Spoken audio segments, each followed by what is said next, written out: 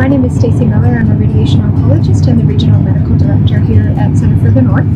I moved here to open the centre in 2012 and have remained uh, part of Centre for the North and this community since that time. Cancer doesn't come at the right time for any of us, and it's not something we schedule. And for every patient, we need to consider what's happening with them and their family and their context and their cancer whatever else is happening in their life may impact their ability to have cancer treatment and to access cancer treatment. Since we have opened in 2012, have really been able to see many patients who would not have been able to access care if it weren't for the Comfort Fund.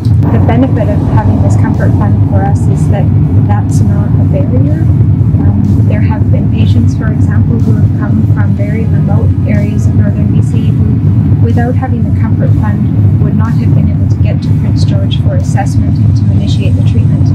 That can cause fear, and that fear alone may be something that does not allow that person to access treatment.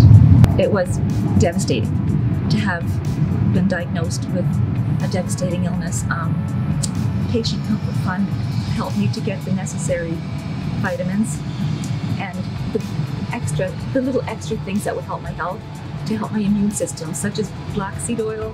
They help me get the with the little cards they gave me, which fruit, vegetables. They help with gas.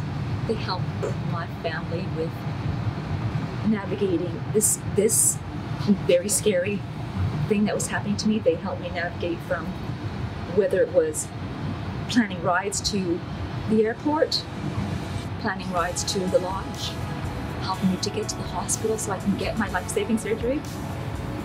There are so many people. When I come here and I see them, my heart is aching. And I'm just so thankful that the BCCA is right here because they were able to come and get that necessary help. It's really important for people who are interested in, in supporting our patients in this way to know that donations to access care.